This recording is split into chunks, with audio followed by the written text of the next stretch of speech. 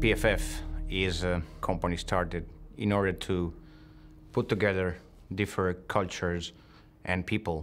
We want to understand which are the new needs of young generations. Because we come from Piaggio, we see cities in a different way than an automobile company. We think about people moving in a granular way.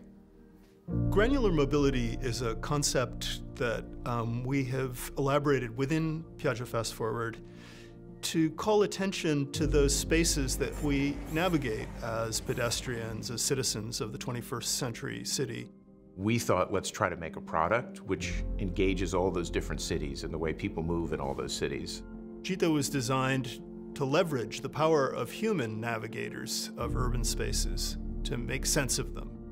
We imagine it as a kind of Vespa for the 21st century.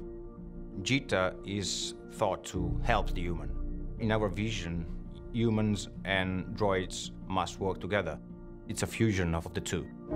It's a land drone, it's a cargo bot, it's a Sherpa, and it's a smart device that learns the environments uh, and maps them as it travels them with human guidance. It moves as slowly and can maneuver the same as a human, and it can move as fast as a human can run, and everything in between. It can also comfortably carry about what a human can carry.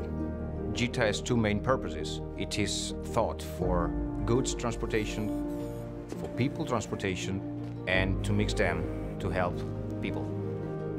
And we see a future where city streets are not full of autonomous cars, but people walking, jogging, riding skateboards and bicycles.